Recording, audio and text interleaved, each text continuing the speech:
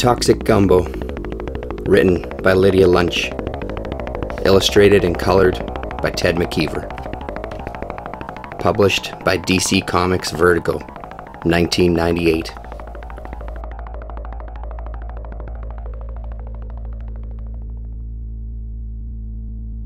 Willows wept for water, their sad branches as brittle as old bones, bent and broken, bowed to kiss the ground, begging for mercy. No mercy was granted. A plague of locusts, biblical in proportion, warned of my impending birth. Their crusted carcasses clung to every leaf, twig, and flower. They blanketed the highways, a hungry platoon of screeching beasts whose horrible sing song did not cease.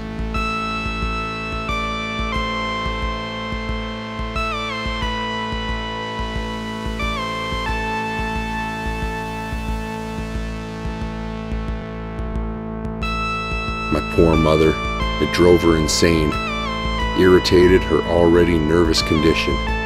She was eight days away from giving birth to me. She was in the backyard, throwing her fists in the air, cursing angrily at a God so cruel, so ruthless, that he would allow yet another disaster to befall her. First, her beloved husband, my father, stricken just months before with yellow fever, dead now, but life support aborted, the rent check overdue, and no clue as to how to provide for a child this late in life.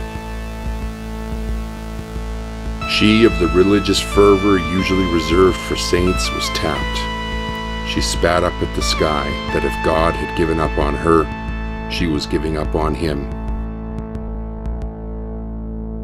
That's when the convulsions started. My mother collapsed, thrashing wildly, swallowing her tongue, a frightening spectacle. The next door neighbor, an ageless Creole priestess, ran out to investigate the commotion. Tula was convinced my mother had been given the evil eye, that a spell of some sort must have been cast, causing the contractions that would hasten my birth.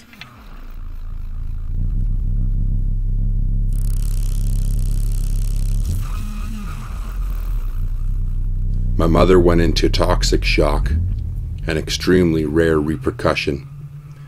In truth, she had an allergic reaction to the insidious bite of a stinging caterpillar, an ungodly creature indigenous to the deep south, whose petulant mouth commonly causes a small, irritating rash. Tula, bless her heart, pulled out all the tricks she knew in a failed attempt to save my mother. She split a young hen open slicing a deep gorge in its belly, placing it gently on my mother's head. Squeezed a huge slimy frog in my mother's right hand until its eyes popped out, rolling on the grass like small black marbles. Rubbed alligator fat on the swell of my mother's belly, hoping to cease the contractions. Nothing worked. She was forced to call the hospital. An ambulance arrived quickly, but not before I had already poked my head out, using tiny fists, urgent to pummel my way out. I was plopped out on a bloody gurney in the back of the battered van. My first vision was a panicked attendant, wiping my placenta on his filthy white overcoat. He was screaming for the driver to speed up. My blood was burning his fingers. I was born hallucinating, a vortex of colored lights melting shapes and forms into unrecognizable patterns, a side effect of my mother's poisoning. From birth, I was starved for the affection every child needs in order to develop lasting bonds and intimacies. I would live to forever blame her for my feelings of rejection, loss, and loneliness, for dying on me. My mother never regained consciousness, slipping into a coma whose liquid embrace surrendered her over to the other side on the third day of her stay in room 313. I was kept in quarantine for my first two months of life. The doctors marveled that I was a medical miracle, a freak of nature, couldn't understand how I appeared so healthy, yet my temperature never dropped below 106 degrees. Already other. Anyone else would have spontaneously combusted, yet my flesh was cool to the touch, cold almost, and my eyes so yellow, so black. Tula, of course, realized my unusual orbs mimicked the hues of my mother's killer, the Louisiana puss moth. She paid visits to my postnatal prison, praying to black goddesses for my recovery. Then her visits mysteriously stopped. Abandoned yet again. I was placed in an orphanage, the Temple of Innocent Blood, an aging, dilapidated mansion on the outskirts of the French Quarter run by naughty nurses whose twisted vision of discipline meant twice weekly group spankings. Obediently, we'd line up in single file, touch our toes, bear down, and receive five or six whacks with a birch branch soaked in vinegar, supposedly meant to punish us for the sins of our birth. I grew quite fond of this little ritual, knowing it built character, stamina, endurance. The vinegar was actually cooling to my wounds. Then we'd be sent to the library to sit on hardback chairs as we silently mouthed ten Hail Marys and recited the Rosary. Our battered bottoms would find no relief from prayer. The only reward was Sister Teresa. She was the librarian whose angelic face and saintly smile momentarily replaced the mothers we would never know. But the less I cried, the less attention I got, as if my strength and resolve were being punished. Crushing, unfair.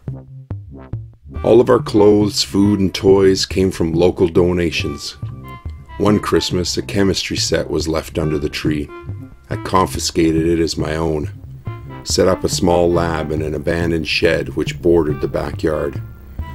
I would examine bodily fluids urine, saliva, tears, excrement, even blood first my own, then from other orphans who could be bribed with pilfered food.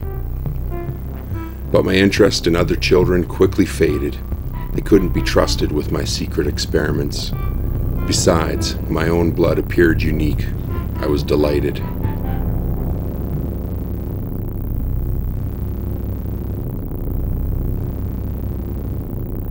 In the secrecy of my lab, I would revel in my discoveries. Always knew I was different from the others. Now I knew why. Genetics, chemistry, bloodlines. The pulsing corpuscles assumed mysterious shapes which constantly mutated. Psychedelic science. Something I could finally sink my teeth into. My own flesh and blood became the canvas on which to experiment. But of course, I needed additional subjects. Attention soon turned to insects and small animals palmettos, fireflies, lizards, toads, field mice. I'd lay sticky traps of honeyed chicken bones salvaged from the neighbor's garbage. With the precision of a budding surgeon, I would dissect and disembowel the captured prey, decoding blood types, logging temperatures, keeping precise notes on time of death versus loss of blood. Like any decent scientist or witch doctor, my experiments were done in secret. I'd sneak out under the bloodshot moon after everyone else had fallen asleep and escape into my laboratory where I'd lose myself for hours, my bloody companions a mute witness to my developing prowess. I began to experiment with insect and animal mash, a moonshine fermented like corn liquor I'd grind their inner organs with rubbing alcohol, sugar, and blood. A horrible concoction which resulted in a gritty paste. The longer I'd allow the flavors to meld, the more potent the brew became. I decided to dose Sister Agnes, the cruel and vindictive head mistress. I spiked her coffee. She never knew what hit her. Began clawing at her face and neck, running in circles like a mad dog swearing and cursing and tearing free from her tattered robes, fleeing naked through the backyard. An ambulance was summoned. She never returned. Her attack was blamed on religious delusions. The atmosphere in the orphanage improved with her removal. I was never the same, too aware of the power to pervert through elementary science.